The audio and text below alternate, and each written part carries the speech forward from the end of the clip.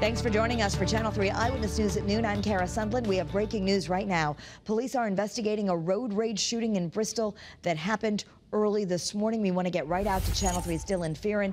He is live on the scene on Broad Street. Dylan.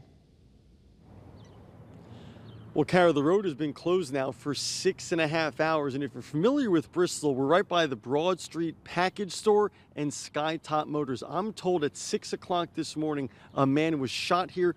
Uh, in his car in the street here in a road rage incident, according to police. That man was then flown to a trauma center. The second person involved in the shooting stayed on scene to talk with police.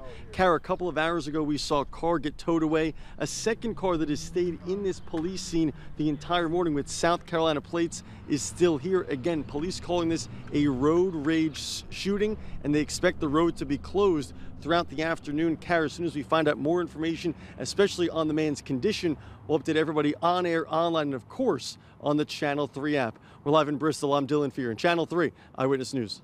Okay.